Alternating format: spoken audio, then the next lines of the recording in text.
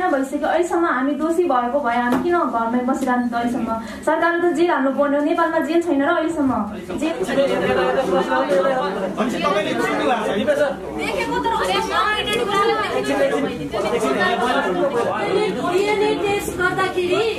रगतको स्याम्पल लिनु घरबाट जान देखिया छैन भन्ने कुरा सबैले भने। साइकल दस गति चार बजी भेटिया छ उखुबारीमा भनेर कसैले भनेनन्।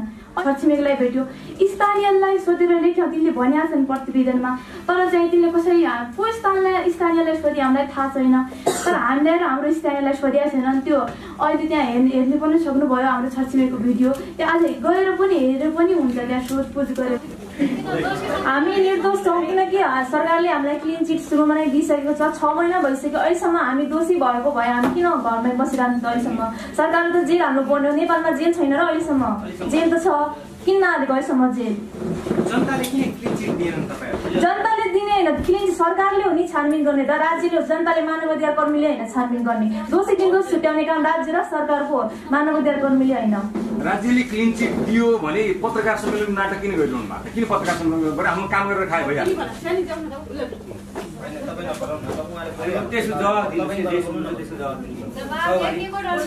छ? थुनेर लैजान्न मेरो मोबाइल त एक महिना दुई तिन महिनासम्म मेरो काठमाडौँमा अनुसन्धानको लागि राखेको प्रहरीले बिस दिन मलाई हिरासतमा राखेको दुईचोटि अनुसन्धान एकचोटि चाहिँ दुई दिन दोस्रोचोटि चाहिँ बिस राखेको त्यसबाट पनि पुरै ल कुनै केटा मेरो घरमा केटा को देखाइदिनु पर्यो नि अहिलेसम्म ल कुनै मोबाइलमा खैसँग कन्ट्याक्ट छैन। ल दिदीदार बिसँग सम्बन्ध छैन खै सम्बन्ध ल्याएको त्यसमा? कुनै कन्ट्याक्ट होला कन्- बिना कन्ट्याक्टले मान्छे कसरी पुग्यो घरमा? त्यसको छोरासँग सम्बन्ध रिलेसन के भयो भने कन्ट्याक्टबाट अब त्यतिकै त हावामा मान्छे उडेर बसेर आयो मेरो छरछिमेकीले मैले कसरी पनि देखाएको छैन। उसलाई आउनु भनेपछि अरू बाँकी जनता धन गरेका नेपाल नेपालगञ्जका जनताले देखेर हुन्छ र? यो सबभन्दा गल्ती चाहिँ मानव अधिकार कर्मती इन्द्र प्रसाद अर्यालले जब झुटो प्रतिवेदन पेश गरे तब जनताको नेपाल नेपालका जनता थिए थिए। त्यस्ता मानव अधिकार कर्मीहरू बाहेक अरू पनि। देश देशका जनताहरूमा पनि त्यस्तै भरम फैलियो। किनकि तिनले त्यस्तो झुटो प्रतिवेदन पेश गरे। तिनले के भने डान्स गरेर म काम गर्छु भने। ल म कुन डान्स गरेर काम गर्छु भने ओपेरा होटल। ओपेरा होटलमा जब कि डान्स बार नै छैन अहिलेसम्म। त्यसपछि निर्मलालाई र एउटा किशोरलाई लुगा दियो भनेर निर्मला त मरेर गइसक्यो होइन उसले त भन्न सक्दैन। तर उसँग अर्को किशोरी साथी त थियो होला नि। ऊ साथीलाई ल्याइदिनु पर्यो नि त सार्वजनिक ठाउँमा। उसले भन्न सक्छ नि मैले त्यसलाई कपडा दिएँ या दिएन भन्ने। अनि भैँसी बिहेको कुरा त हजुरले अहिले छर्लङ देखिहाल्नुभयो त्यसमा। कुन ठाउँमा भैँसी बिहेको कति दुई तिन वर्ष पहिले बिहेको भन्ने कुरा। अनि त्यो के अरे साइकल जहाँ भेट्यो त्यो छोरीको लास पनि त्यही होला। बबिताले भन्यो भने त्यसको प्रमाण के छ? ल्याइदिनु पर्यो नि अहिलेसम्म। मैले भनेको सब सब झुटो त्यो प्रतिवेदन पुरै झुटो त्यो प्रतिवेदनमा एक पनि कुरा त्यस्तो सत्यता त्यो एउटा त्यो प्रतिवेदनमा चार पाँच कुराहरू झुटो छन्। त्यसमा एक कुरा पनि सत्य निस्क्यो भने म जिउँदैन तयार छु। मलाई सुन्नु एउटा चाहिँ म डान्स बारमा काम गर्छु भने एउटा कुरा एक अनि निर्मललाई लुगा दियो र अनि किशोरलाई लुगा दियो भने दुईवटा कुरा दुई। अनि भैँसे ब्याएको तिन। अनि साइकल जहाँ त्यसको लास्ट पनि त्यही भने चार। अनि घरमा भिआइपी आउँथे घरमा भन्ने कुराहरू पनि साँचो चाहिँ के हो त यहाँहरूले यो सबै झुटो हो भने साँचो चाहिँ के हो साँचो के हो तपाईँ छिमेकमा जानु कञ्चनपुर जानुहोस् न पहिला तपाईँ जानै भएको छैन तपाईँ कञ्चनपुर छरछिमेकलाई सुन्नु स्थानीय ठाउँमा गएर सुन्नु न अहिले एउटा मिडियाको लाग्दा त्यो हाइल्यान्डमा जुन बम दिदी भन्ने बहिनी भनेर शीर्षक छ त्यसको लाग्दा त्यस्तै न्युज नबनाउनुहोस् कि तपाईँ त्यहाँ जानुहोस् पुग्नुहोस् मेरो छरछिमेकमा जानुहोस् न त्यहाँ सुन्नुहोस् त्यहाँ जङ्गल छैन मेरो घरहरू पुरै घरहरू छ होइन सत्यता चाहिँ तपाईँहरूको सत्यता के हो? तपाईँहरूले तपाईँको मुखबाट भनिदिनु न त के हो सत्य? सत्यको त हामी सत्य छौँ या छैन भने त हाम्रो आफ्नोलाई थाहा हुन्छ। हामीले ढाँटेर पनि कुनै ऊ त्यस्तो ऊ हुँदैन। त हाम्रो टिकन यति यति मिडियामा भनिसकेका छौँ कति युट्युबहरूमा यिनीहरूले फ्यार त्यस्तै चोरेर पनि के के बनाइदिएका छन्।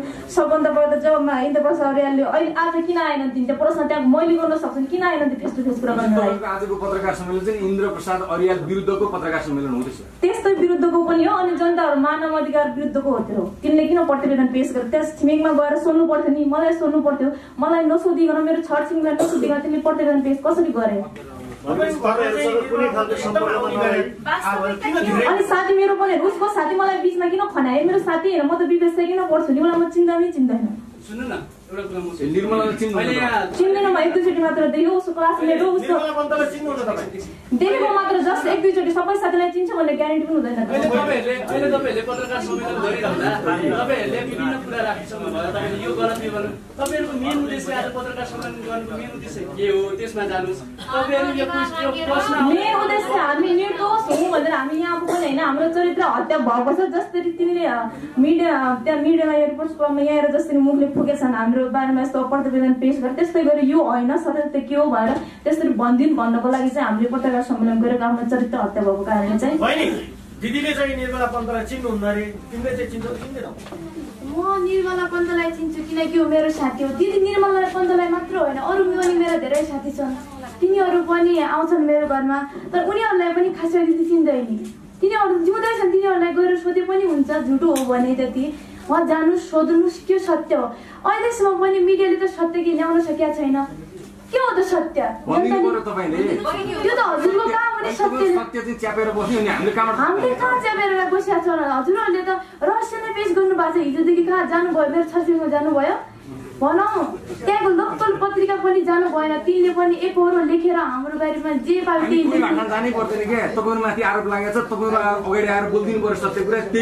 आउनलाई आउन दिनु पर्यो नि त्यहाँका मानव अधिकार कर्मीहरू किन मलाई मिडियासँग आउन दिँदैन मिडियालाई मेरो घर आउन ल दिँदैन वास्तविकता के हो त्यो कुरा भन्दा पछि तपाईँले जुन खालको भन्नुभयो नि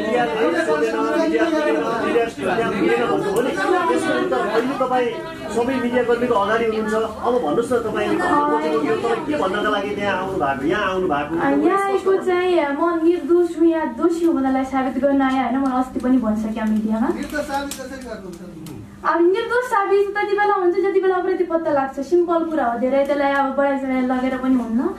यहाँ आएको भने चाहिँ घटनाक्रम त अहिले बताउला पहिला आफ्नो कुरा राख्नु पर्यो किनभने मैले पत्रकार सम्मेलन घटनाको लागि गरेँ होइन आफ्नो लागि गरेँ आज। खास आएको भने जुन हाम्रो चरित्र हत्या भयो हजुरहरूलाई पनि थाहा छ कति भयो के के भयो भनेर। जो जसले गरे गर्न त धेरैले गरे तर मेन भनौँ अँ, अधिकार कर्मी केही अधिकार कर्मी इन्द्र प्रसाद तिनले प्रतिवेदन पेश गरे जसमा धेरै कुरा झुटा लेखे। तिनले बिना प्रमाण बिना आधार न हामीलाई भेट्यो न मेरा छरछिमेकलाई भेट्यो। स्थानीयलाई सोधेर लेख्यो तिनले भनेका छन् प्रतिवेदनमा। तर चाहिँ तिनले कसरी को स्थानलाई स्थानीयलाई सोधे हामीलाई थाहा छैन। तर हामीलाई र हाम्रो स्थानीयलाई सोधेका छैनन्। त्यो अहिले त्यहाँ हेर्ने हेर्ने पनि सक्नुभयो हाम्रो छरछिमेकको भिडियो। त्यहाँ आज गएर पनि हेरेर पनि हुन्छ त्यहाँ सोधपुछ गरेर।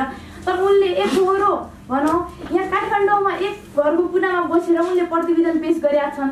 उनले न मलाई भेटेका छन् न मेरो स्थानीयलाई भेटेका छन्। अब उनी उनलाई हामीले बोलाए यहाँ हामीले खास पत्रकार सम्मेलन गरेको चाहिँ उन र हामी फेस टु फेस कुरा गरौँ भन्नलाई भन्नको लागि हो। तर उनले चाहिँ हिजो चाहिँ बोलाएको थियो तर आउँछु भनेको थियो तर अहिलेसम्म आएका छैनन्। किन आएन? मलाई थाहा भएन। तर उनी किन आइन्? किन आएनन् तिनी सत्य छ भने त आउनु पर्ने हो नि? के को डर?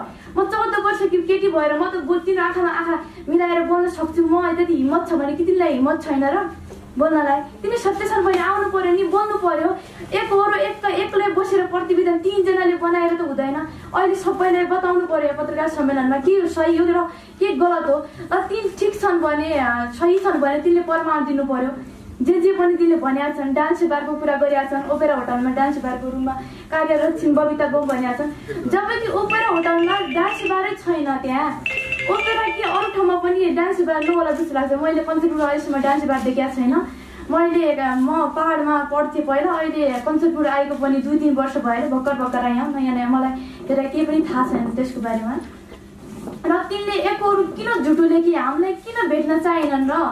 उति बेला पनि तिनी नगएर एकहोरो झुटो लेखे अहिले पनि भेट्न चाहन्नन्। के कारण ल उनले त झुटो लेखे क्या सत्य चाहिँ यो यो हो भनेर भनिदिनुहोस् क्या तपाईँले। सत्य त भने नि डान्स बारमा काम गर्ने भनेको छ। ऊ पढ्ने हो डान्स बारमा काम गर्ने त होइन। उहाँ कलेजमा नाम होला एडमिसन होला दिनदिनै जाने रेकर्ड होला। तिनले एकहोरो लेखेर त हुँदैन। यो चाहिँ प्रतिवेदन झुटो हो। हामी यस यो छैन भन्ने खालको क्लियर होइन। तपाईँ प्रसङ्गमा घटाउनु खोजेको चाहिँ के हो भनेदेखि तपाईँले हामीलाई चाहिँ झुटो कुरा चाहिँ नबुझिकन लेख्यो भन्ने कुरा क्लियर गर्नुभयो है। अब भन्न खोजेको सत्य चाहिँ के हो र उहाँसँग निर्मलासँगको सम्बन्ध भनौँ न त्यसपछि गएर तपाईँको चिन्जान नजिकको रिलेसन जुन छ नि जुन तपाईँहरू आउने जाने क्रमहरू त्यो भनिदिनुहोस् न स्पष्ट। तपाईँको मुखबाट सुनौँ न हामी। तिनले चाहिँ प्रतिवेदन सय पर्सेन्ट झुट लेखेको छ हामीले पहिला पनि भन्यो अहिले पनि भन्छु। तिनी अहिले पनि म तिमीलाई मौका दिन्छु एक मौका। तिमी के होस् भन हामी गलत छौँ भने तिमीले प्रमाणित गरिदिनु पर्यो। हामी जेजनालाई तयार छौँ। मैले भनिसकेँ अस्ति पनि। तिमीले प्रमाणित गरिदिनु पर्यो। तिमी आफू शिक्षित भएर एकातिर तिनी वकिल हुन् एकातिर अधिकार कर्मी तिमीले कसरी लेखे क्या त? भन्छु हाम्रो त तिमीसँग यो दुश्मनी पनि त होइन चिनजान पनि होइन। के फाइदा के स्वार्थ थियो कि तिम्रो? किन लेखे कसको भनाइमा लेखे के त कसैले तिमीलाई गलत सूचना दिएको हो कि? कहिले दियो त्यो बताइदिनु पर्यो। किन लेख्यो तिम्रो के शर्त छ तिमीले बताइदिनु पर्यो? र यो प्रतिवेदन सय पर्सेन्ट झुट हो। निर्मला र मेरो सम्बन्ध चाहिँ ऊ मेरो साथी हो। एकअर्काको घरमा आउने जाने गर्थे। निर्मला चाहिँ मेरो घरमा धेरैचोटि आएको छैन। दुई तिनचोटि मात्र आएको छि। म मेरो चाहिँ सधैँ हुन्थ्यो किनकि निर्मलाको घर र उसको निर्मलाको र मेरो स्कुल सँगै थियो त्यसले मेरो सधैँ हुन्थ्यो। त्यो दिन चाहिँ के मैले भने नि पहिला दिदीले त अरू साथीलाई पनि चिनिएको छैन। मेरो अरू साथी पनि त निर्मला भन्दा पनि बढी छुट्टी आइसकेको पटक छ। आइ आइरहने गरे दिल्ली चाहिँ चिनेको छैन एउटै घरको साथी। मैले भने नि मेरो अरू साथीलाई पनि चिनिएको छैन कि निर्मलालाई मात्र चिन्नु र अरूलाई नचिन्नु त भएन। चिन्ने भयो त सबै साथीलाई चिन्नु पर्ने हो नि। मेरो कति साथी कति धेरैचोटि आइसकेको छ त्यसलाई पनि चिन्दैन। मतलब गइराख्दैन भने अब मैले कि चिन चिन भनेर हामीले यहाँ हामीले बुझ्न खोजेको कुरा के हो भने तपाईँको